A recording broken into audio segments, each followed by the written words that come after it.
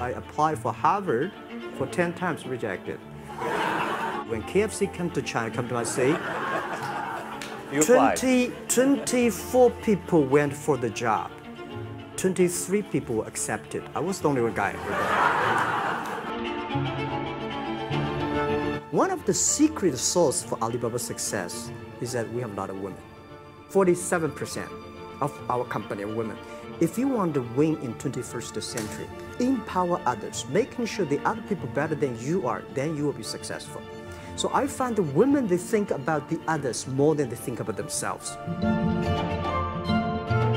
China today is the second largest economy in the world. China should pay attention to the quality of the economy. Just like a human growth, certain time the slow of growth of your body was slow, but you should grow your mind, grow your culture, grow your value, grow your wisdom. I think China is moving to that direction. When you have $1 billion, that's not your money. That's the trust society give on you. So many people I talked to at that time for Alipay, they say, this is the stupidest idea you have ever got. But I say, I don't care the stupid clever, as long as people use it. Now we have uh, 800 million people using this Alipay. Tai Chi is about uh, how you balance, how you work, like a competition. People say when I compete with eBay, say, you hate eBay. No, no, no, I don't hate eBay. It's a great company. You know, they come, I go. You know, Tai Chi is like, you fight here, I go over there.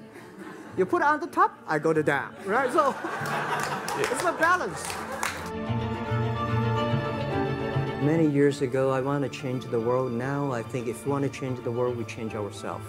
Change ourselves is more important and easier than change the world. And second is that I want to improve the world. Because to change the world may be Obama's job. Because my job is to making sure that my team are happy. Because my team are happy, they can make my customer happy.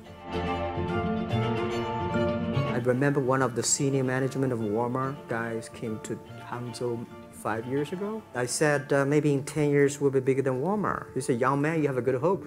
If you want to have 10,000 new customers, you have to build a new warehouse and this, that. For me, two servers.